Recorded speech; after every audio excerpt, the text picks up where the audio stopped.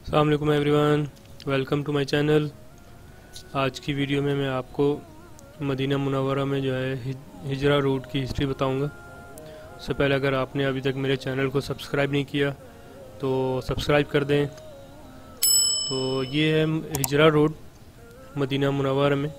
इसी रोड से आप मक्का जाते हैं और इसी रोड से वापस मदीना आते हैं। तो जैसे सामने आप ये गेट देख रहे हैं यहाँ से अगर हम लेफ़्ट चले जाएँ तो हरम की तरफ़, मस्जिद नबी की तरफ़ चले जाएँगे।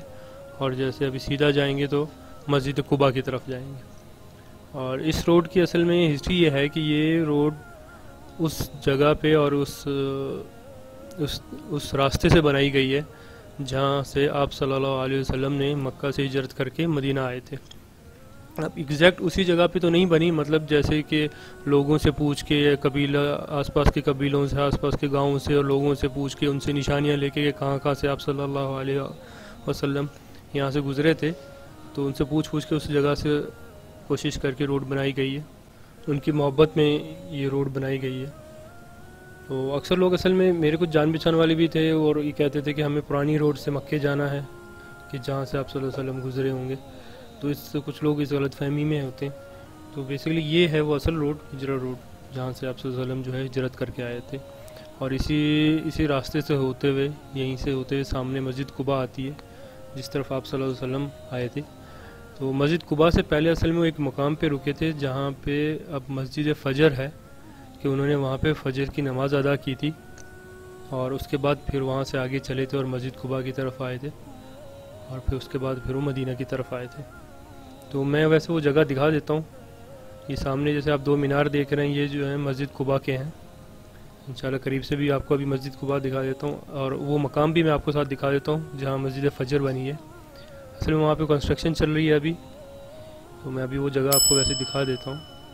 ये सामने है, ये मस्जिद कुबा आ गई। तो इसी रास्ते से आप सल्लल्लाहु अलैहि वसल्लम यहाँ आए थे। लेकिन इस मकाम पे आने से पहले तो वो यहाँ मस्जिद फ़जर है, इस मोहल्ले में अंदर जाके थोड़ा। वहाँ रुके थे पहले, फिर वहाँ से चल के यहाँ आए थे मस्जिद कुबा। तो वो मस्जिद जो है, अभी उन्होंने उसके चारों तरफ़ दीवार दी हुई है गवर्नमेंट ने, और उस मस्जिद को जो है वो रेनोवेट कर रहे हैं।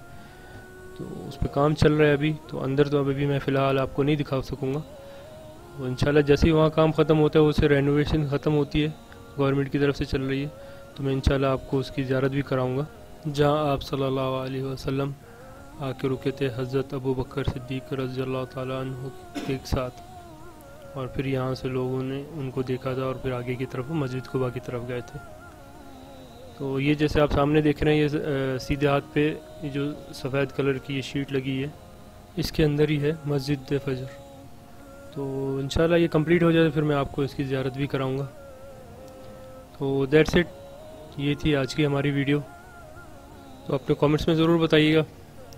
इस वीडियो के बारे में और आने वाली ज़ारतों के बारे में कि कौन सी ज़ारत मैं पहले कराऊँ। वैसे तो मेरी लिस्ट है आ, लेकिन मैं चाह रहा हूँ कि पहले वो छोटी ज़ारतें करा दूँ जो अक्सर लोगों को नहीं पता।